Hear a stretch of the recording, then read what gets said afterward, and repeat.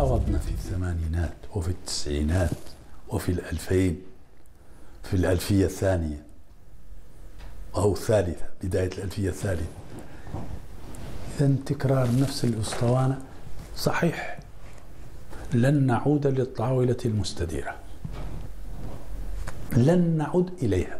هذا ليكون واضح. طبعا مفاوضات بين الدولتين في إطار الاتحاد الإفريقي للتوصل إلى حل يمكن المنطقة من التعايش السلمي. يسحب.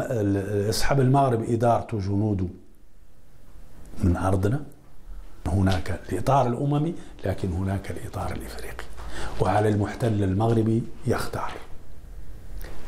الأمم المتحدة استفتاء وتقرير المصير.